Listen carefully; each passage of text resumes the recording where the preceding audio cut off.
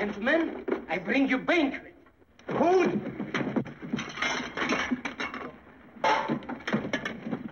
Oh!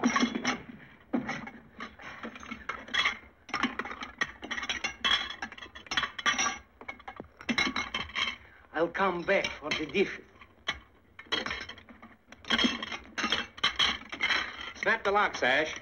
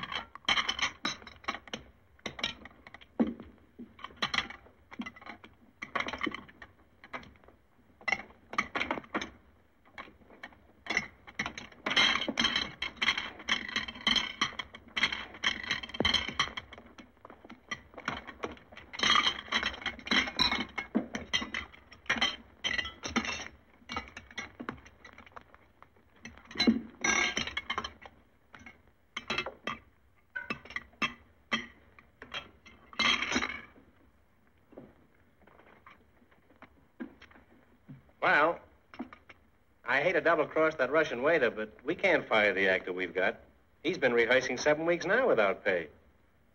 You mean you promised him the part just to get a meal out of him? No, that's not quite true. When I made that offer, I was prepared to go through with it. But uh, now that I've eaten, I see things in a little different light.